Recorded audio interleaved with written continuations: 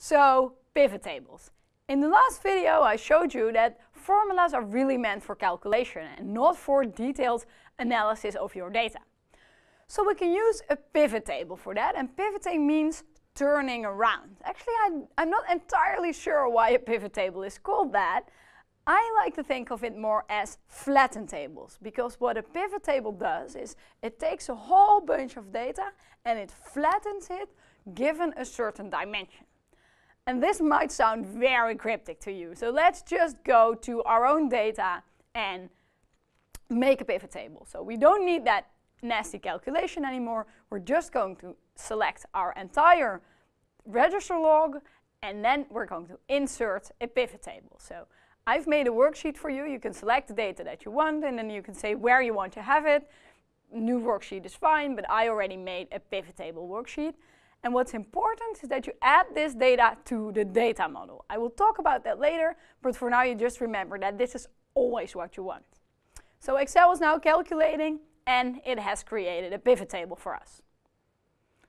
So maybe you think, now what? Okay, we have a pivot table, but I don't, I don't know what to do with it. There's no, I don't see my data. What, what do I do? I'm a bit confused.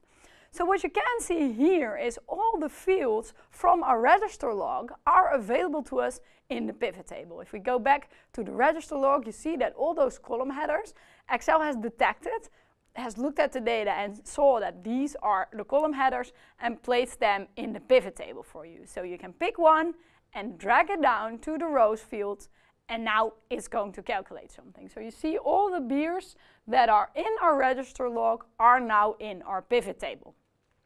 And this is in the sense that I mean a flattening table because what happened is we had that entire register log, all these beers, and what the pivot table has done is it has flattened in into only the beer names that are there. So it, here, for example, the Schlafly Oktoberfest occurs twice, but in a flattened pivot table, it only occurs once. Only the unique values remain, as you can see here.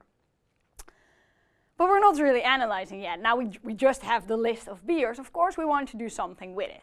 So what we can do is take that quantity and drag it to the value field. And what happens now, it is summing the quantity per beer. So while flattening the data, all the quantities that it encounters are summed. And if we sort it, we get the exact same result as we had when we were using the sum if function, we get 170 items sold for the Schlafly Oktoberfest beer.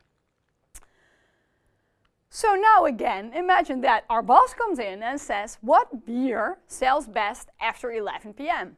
This is super easy because we can take the time field now and use it to filter our data. So we take time, we drag it down to the filter, and now we have the list of all times in a drop-down function. So we just say we want to select a bunch of them, we scroll down and we tick everything that's after 11 p.m. You could also use a formula for that, but just clicking is also super easy. And then we say, see that the best sold beer after 11 p.m. is the Schlafly Oktoberfest. We knew that from the SUMIFs function, but now we've done it without any formulas. So compare what I did in this video to what I did in a previous video. I didn't use any formulas. It was only Im importing my data into the pivot table, selecting the right fields, applying the right filter, and the analysis is there. And it's super easy for me now. If I want to know what's the best sold beer before 7 p.m., just changing the filter a little bit. No formulas needed, no change to any formulas needed, and I have my analysis. So a pivot table really allows us to play with our data in an easy fashion.